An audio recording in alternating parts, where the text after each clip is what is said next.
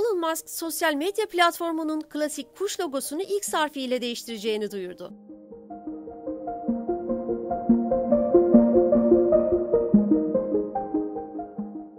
Musk Twitter hesabından yaptığı paylaşımda yakında Twitter markasına ve yavaş yavaş tüm kuşlara veda ediyoruz ifadesini kullandı.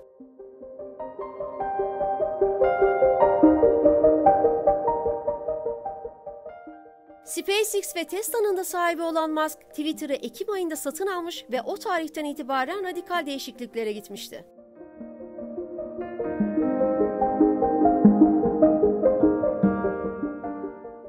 Musk bu yılın başında Twitter'ın logosunu kısa bir süreliğine kripto para birimi Dogecoin'in köpek logosuyla değiştirmişti.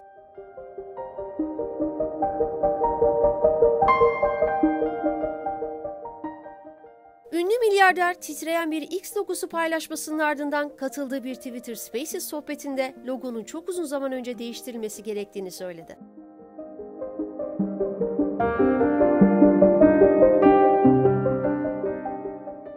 Musk'ın Çin'deki WeChat gibi bir süper uygulama yaratma çalışmaları kapsamında Twitter'ın çatı şirketinin adı Nisan ayında X Corp olarak değiştirilmişti.